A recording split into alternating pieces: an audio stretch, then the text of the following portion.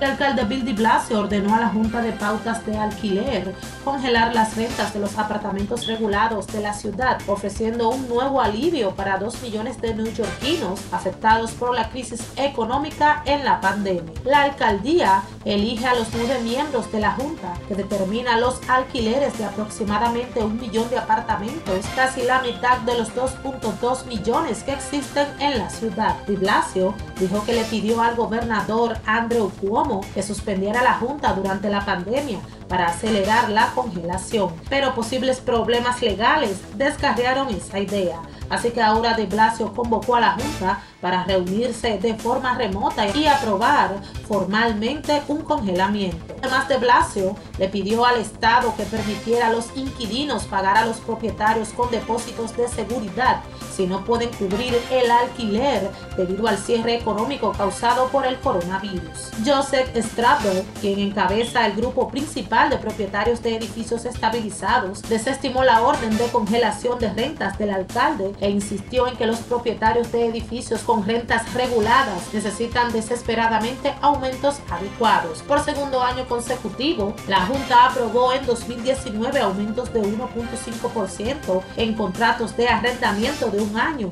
y 2.5% en los de dos años. Vanessa Vázquez, informativo New York.